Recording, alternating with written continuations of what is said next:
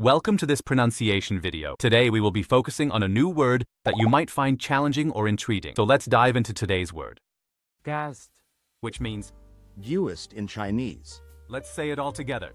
Gast, Gast, Gast, One more time. Gast, Gast, Gast. Thank you for joining us on this adventure in pronunciation. Remember, language is a journey, not a destination. Keep exploring, experimenting, and expanding your linguistic horizons. We'll see you next time.